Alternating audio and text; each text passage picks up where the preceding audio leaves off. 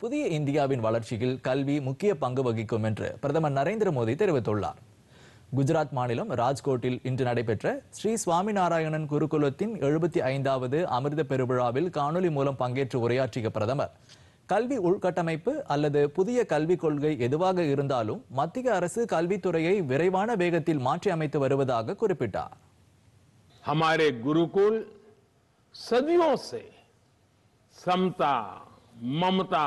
समानता और सेवा भाव की वाटिका की तरह रहे हैं। नालंदा और तक्षशिला जैसे विश्वविद्यालय भारत की इस गुरुकुल परंपरा के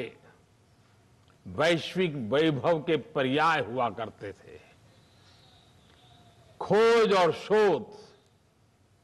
ये भारत की जीवन पद्धति का हिस्सा थे।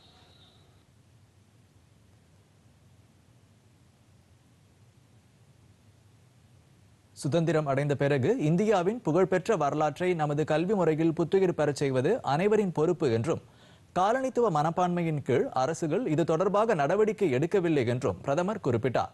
எதிர்காலத்தை நோக்கிய கல்வி முறையை அரசு உருவாக்கி வருவதாக கூறிய பிரதமர் இளைஞர்களுக்கு தரமான கல்வி வழங்கப்பட்டால் இந்தியாவை அமிர்த காலத்தை நோக்கி வழிநடத்தும் சிறந்த குடிமக்கள் உருவாவாகர் என்றார்.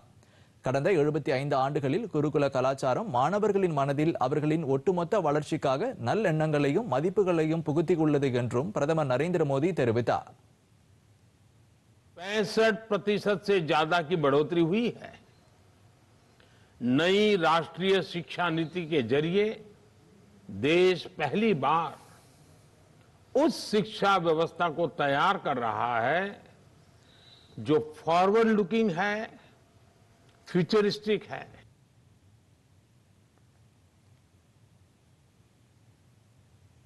பாலின சமத்துவம் என்றால் என்ன என்பதை உலகம் உணராத நிலையில் இந்திய நாகரிகத்தின் கார்கி மைத்ரேயி ஆத்ரேயி போன்ற பெண் சிந்தனையாளர்கள் இருந்ததாக பிரதமர் நரேந்திர மோடி சுட்டிக்காட்டினார்